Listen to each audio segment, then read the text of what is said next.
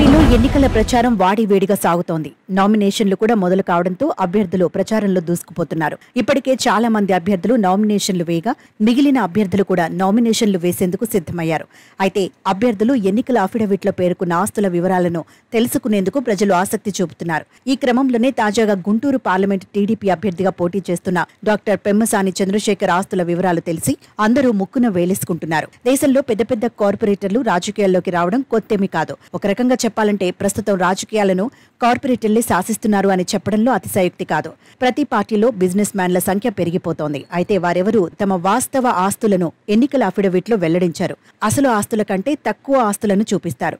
కానీ అమెరికాలో సెటిల్ అయిన పెమ్మసాని చంద్రశేఖర్ మాత్రం తన ఆస్తులను నిర్భయంగా ప్రకటించారు. ఇవాళ ఉదయం భారీ ర్యాలీగా కలెక్టర్ కార్యాలయానికి వెళ్ళిన పెమ్మసాని రిటర్నింగ్ అధికారికి నామినేషన్ పత్రాలు సమర్పించారు.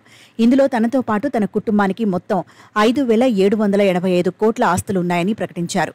అందులో చరాస్తుల విలువ ఐదు వేల ఐదు వందల తొంభై ఎనిమిది పాయింట్ ఆరు ఐదు కోట్లు కాగా స్థిరాస్తులు నూట ఎనభై ఆరు పాయింట్ ఆరు మూడు కోట్లుగా పేర్కొన్నారు. ఇక ఇదే సమయంలో ఒక వెయ్యి ముప్పై ఎనిమిది కోట్లు అప్పులు ఉన్నట్టు తెలిపారు. దీంతో ఆయన ఆస్తులపై పెద్ద ఎత్తున చర్చ జరుగుతోంది. ఎంతో ధైర్యంగా ఇంత పెద్ద మొత్తంలో ఆస్తులు ఉన్నట్లు ఎన్నికల అఫిడవిట్లో పేర్కొనడం ఆయన నిజాయితీకి నిదర్శనమని కొనియాడుతున్నారు. కాగా గుంటూరు జిల్లాలో పుట్టిన పెమ్మసాని చంద్రశేఖర్ ఎంబీబీఎస్ వరకు ఇండియాలోనే చదివారు.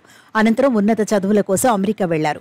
చదువు అయిపోయిన తర్వాత ఉద్యోగం చేస్తూ అక్కడ మెడికల్ ఫీల్డ్లో స్థిరపడ్డారు. యూ వరల్డ్ పేరుతో అమెరికాలో మెడికల్ ఎంట్రన్స్కు ప్రిపేర్ అయ్యే విద్యార్థుల కోసం ఆన్లైన్ ఎడ్యుటెక్ కంపెనీని నడుపుతున్నారు. దీంతో పాటు ఇతర వ్యాపారాలు కూడా ఉన్నాయి. వ్యాపారంలో ఎన్నో వేల కోట్లు సంపాదించిన పెమ్మసాని తన జన్మభూమి కోసం సేవ చేయాలనే తపనతో ఏపీకి తిరిగి వచ్చి రాజకీయ అరంగేట్రం చేశారు.